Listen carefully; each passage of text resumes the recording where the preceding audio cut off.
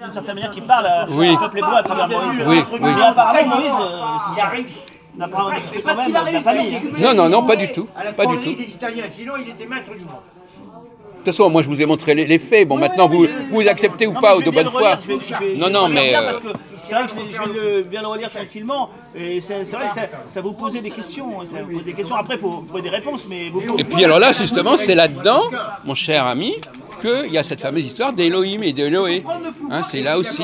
Il y a un double problème dans. ça doit arriver à une finalité. Si c'est pas le christianisme, ça va être quelque chose d'autre. Alors qui va venir alors Parce que tout ça n'est pas été fait par hasard. Non, mais, les ouais. prophéties doivent s'accomplir. hein. Tout- tout doit- les prophéties des prophètes doivent s'accomplir. Attendez, là, vous parlez de Jérémie ou vous parlez de l'Exode Si c'est pas le Christ, si c'est pas le- s'il y a eu une confusion, s'il y a eu une erreur, à un certain moment, tout ça, ça doit s'accomplir. Oui.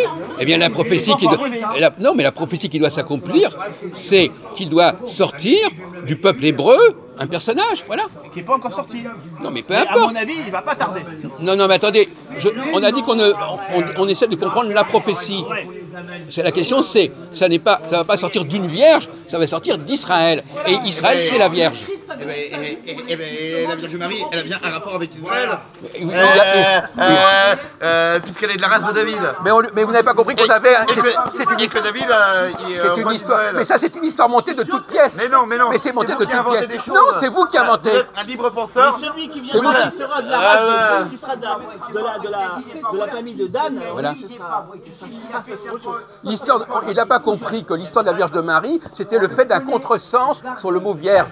Mais pas du tout. euh, Si, pas du tout. mais si, mon vieux. Écoutez, je suis plus intelligent que vous, alors je sais ce que je dis. Hein. Bon.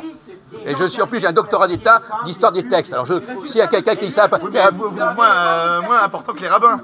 Quoi, les rabbins Ils sont. des- Qu'est-ce que les rabbins Ils ont une licence? avec le rabbinage aussi, on va rigoler. Les rabbins.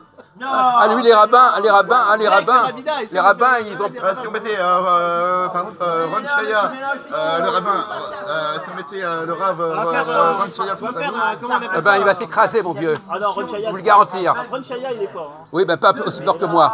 Parce qu'il est. Je reconnais, je l'étudie un peu, il est. Non, c'est quelqu'un de. Oui, ben moi aussi, je suis très fort.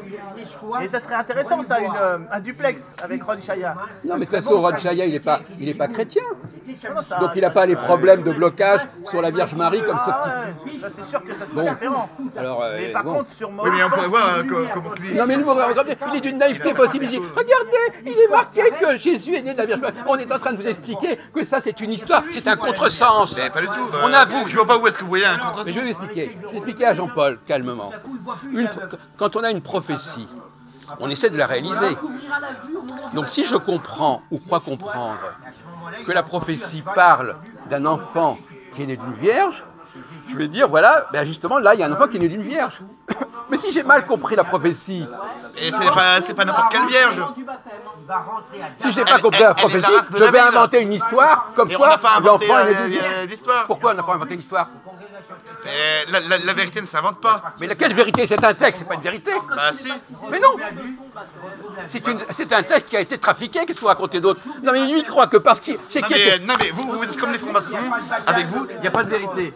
Voilà, euh, voilà vous êtes un, euh, vous êtes un relativiste. Non, pas l'Ancien Testament. Voilà, vous, êtes- Pourquoi l'Ancien Testament? Voilà, vous êtes un relativiste, un subjectiviste. Euh, ouais, Ouais, d'accord. voilà, vous, vous Continue. racontez les mêmes choses que les francs-maçons. Continue, enfonce, Voilà. enfonce. enfonce. D'abord, premièrement, les formations disent pas ce que je dis. Bah, bah, Et moi je répète pas ce que disent les euh, formations. Relativiste, Non. En quoi voilà, En pour eux, il n'y a quoi pas de vérité. En quoi Euh, voilà, pour Au eux- contraire. Pour, pour eux, il n'y a pas de vérité. contraire. Voilà, pour eux, il faut chercher Mais au contraire, continuellement. je suis en train de vous dire Voilà, que il faut cette chercher, prophétie, elle fait sens. Je Voilà. Est-ce que je suis en train de dire que la prophétie n'existe pas? Je dis pas que la prophétie n'existe pas. Je dis qu'il est indiqué qu'il y a. On un- vous a expliqué la prophétie, voilà, mais vous voulez pas. On vous a expliqué quoi? Vous voulez en faire qu'à votre tête, cher monsieur. je vous dis que Là, la- vous êtes un anarchiste. Je vous dis que le un texte, anarchiste. le texte de Matthieu est une invention en voulant faire réaliser une prophétie qui a été mal comprise. Et ça, le piège de la préfiguration. Et quand vous dites qu'il y a un truc préfiguration, mais que vous ne comprenez pas le texte qui est censé préfigurer, vous inventez un truc qui tient, qui tient pas debout. Euh, C'est vous qui inventez les choses. Tout le monde a compris, de toute façon, écoutez, euh, tout le monde a compris. Et vous-même, je pense que vous avez compris en plus, c'est ça le pire. Vous avez bien compris qu'il y a eu un malentendu. Ils ont mais Jean-Paul, il a raison, une fois il m'a dit, Jean-Paul, en fait, vous attaquez le judaïsme. En fait, euh, vous atta- en, en fait, voilà, pour attaquer euh, le christianisme, vous attaquez le judaïsme. Euh, c'est toi, qui- m'avais dit ça. Si, si, si, tu m'avais Mais dit ça. pourquoi pas mais, euh, Et en quoi et, co- et comment ça se passe? Expliquez l'articulation là. Pourquoi attaquer le judaïsme pour attaquer le christianisme? Qu'est-ce que qu'est-ce que ça veut dire? Que- Ou à quoi vous pensez quand vous dites ça? À quoi vous pensez C'est là. Non, Hein arrête. Eh ben oui, bah, euh, Euh, Soudoué là, à quoi vous pensez La parabole du, C'est une du premier, technique, la- le euh, mec crucifié. Voilà, il, il se souvient même pas. Il a des, il, il a- il se souvient pas. Il se souvient que vous avez dit un truc comme ça. Il sait même pas pourquoi j'ai dit, pourquoi il a dit ça.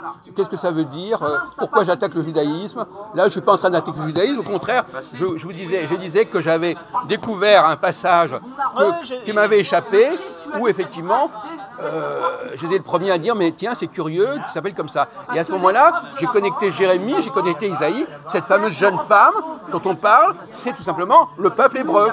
Voilà. Et quand on dit eh, que eh ben, la Vierge Marie, elle a bien un rapport avec le peuple hébreu. le, peu- le Ah, peuple puisque- hébreu, Puisqu'elle est de la race de, elle, elle est de la race de on David. parle du peuple hébreu. Elle est de la race de David. Bon, Euh, David, c'est bien euh, le Dieu- roi d'Israël. Dieu, Dieu s'adresse à, un peuple, s'adresse pas à un être Et, humain. et le roi David, c'est qui le roi David Quoi, le roi David Qu'est-ce qu'il y a le roi David Le roi David, il s'adresse pas euh, au peuple hébreu, non On parle pas du peuple, on parle de roi Dieu. David On parle de Dieu qui s'adresse au peuple hébreu. Eh ben oui, Eh ben voilà, il bah. il l'appelle Vierge. eh ben oui, Vierge d'Israël. Oui. Eh ben oui. Mais ça, il parle pas d'une, il parle pas d'un être humain, il parle d'un peuple. Eh ben, et- eh ben euh, euh, le roi David, euh, euh, c'est le roi d'Israël. Mais pourquoi il nous parle du roi David tout d'un coup? Quel rapport avec cette discussion roi Eh David? ben, parce qu'elle est de la race de David. Mais qui est de la race de David? Vierge. Mais on parle, on vous dit comment, il- comment vous comprenez. Non, mais écoutez, c'est ça. De toute façon, écoutez, venant de vous, c'est c'est presque un compliment.